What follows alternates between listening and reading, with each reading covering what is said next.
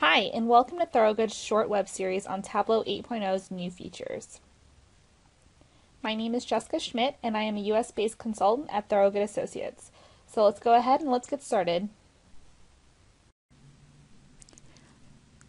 Today, I'd like to show you a new Tableau 8.0 visualization, as well as visual grouping and the new and exciting built in forecasting tool. So right now we're looking at my business overview dashboard and it's a great visual so far. I've got a global map that shows my sales and my profits and I've also got a graph depicting my sales and profit trends. However, I'd like to make this dashboard a little more insightful and I think it'd be really helpful to view all this data by product category. So I'll have to make a filter. This way I can have more context as to what's going on with my sales and determine which group of products to really focus in on. So I'll start a new worksheet just by clicking here. So I'll start by adding category and sales. And now I'll make it a packed bubble chart, which is the new Tableau 8.0 visualization that I mentioned earlier. And I'll just select it through the Show Me menu up here. And there it is. And it looks pretty cool, but I think the colors are a little distracting. So I think I'll try to make it a little bit more meaningful, so I'll just drag profit onto color, and it looks pretty good. You can clearly see that telephones and communication and office machines are pretty profitable, especially when you compare it to tables, which sells roughly the same amount but profits much less. And now I think I'll just quickly adjust the colors so we can see it a little bit more clearly. Tableau offers a ton of different color options, and I'm going to go with the orange-blue diverging. And I'll also set my center to zero so we can clearly see any negative profits. And now it's looking pretty good. But now that I'm looking at it, I think the bubbles are a little distracting, especially if I want to use it as a filter on my dashboard. So I'll just change it to text. And now we have a pretty cool word cloud. And the size of the font still represents sales, and the color still indicates profit. And now I'll go ahead and add it to my dashboard, but first I'll quickly rename my sheet. And I'll also change the color of the tab so that it matches my other tabs that also contribute to my business overview dashboard. This is a great new Tableau feature that makes working in Tableau Desktop a bit more organized and something I really like because it allows me to quickly see which sheets go with which dashboard. So I'll just right click and I'll select purple under the color menu. Now I'll add it to my dashboard. And I'll do a little bit of formatting so it looks a little bit neater.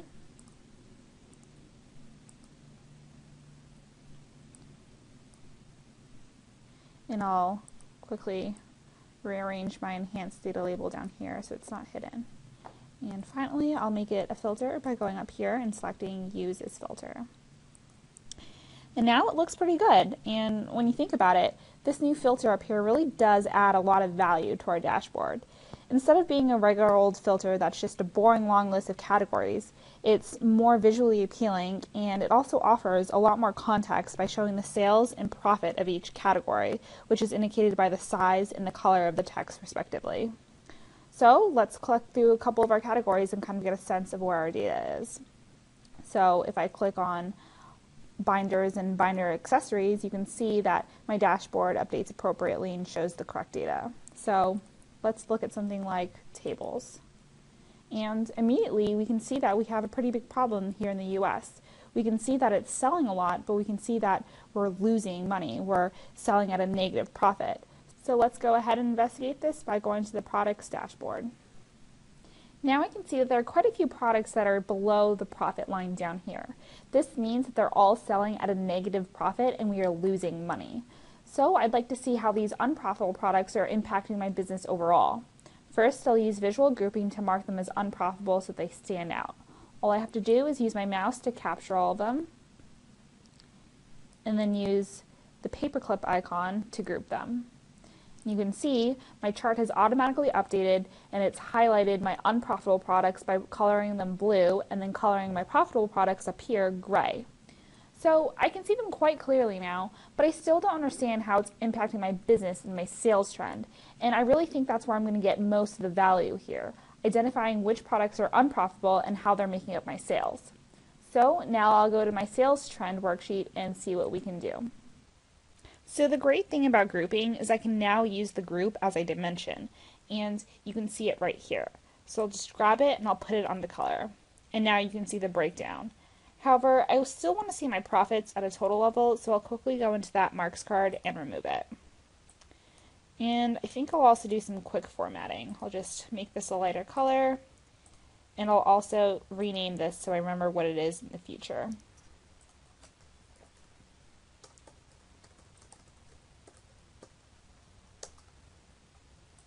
Now it's looking pretty good. And now that I'm looking at it, I see something very interesting. I see here in July of 2013, its sales are so much higher than the previous period of June of 2013. And at the same time, its profits are much lower than the profits of June 2013. And it's apparent why. It's because I sold a tremendous amount of unprofitable products in July that I didn't sell in June. So even though my sales are so much greater in July, I'm still losing money because I'm selling a ton of these unprofitable products. And that right there is an actionable insight.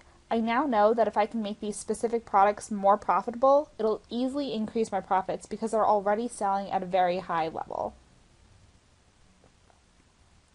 Now, if I wanted some insight on how this is going to impact my sales and my profit in the future if we continue on the same course of business, I could use Tableau 8.0's new and exciting built-in forecasting tool. All I have to do is right-click and select Show Forecast. And now I can see a forecast for the next 12 months. And the interesting thing is if I select all these points down here, I can quickly see that I'm expected to lose nearly $61,000 in seven of the next 12 months. And that's a pretty significant finding, especially as I was able to discover that in just a few clicks in Tableau. This forecasting tool is all included in Tableau's automatic capabilities. I didn't have to set up a thing. However, there are some ways to customize your forecasting if you'd like, and you can do so by right-clicking and going into the forecast options. Here you can do things like change the forecast length, the type of aggregation, and even the type of model you'd like to use. And Tableau offers a number of different models, and you can learn about each one of them by clicking on this link here. You can also look at details for your overall forecast by going into Describe Forecast. And this will bring up all of the relevant details of your specific forecast and your specific model. So overall, forecasting in Tableau is really quick and really easy to do. I don't know very many other products that make it as convenient as it is in Tableau. And now to recap. Through visual grouping and forecasting, I've just shown you how quickly I can quantify the impact of my company's unprofitable products on our sales and on our profits now and into the future. Thanks for watching. If you have any further questions, please feel free to visit our website at thorogood.com or email me at jessica.schmidt at thorogood.com. Thanks.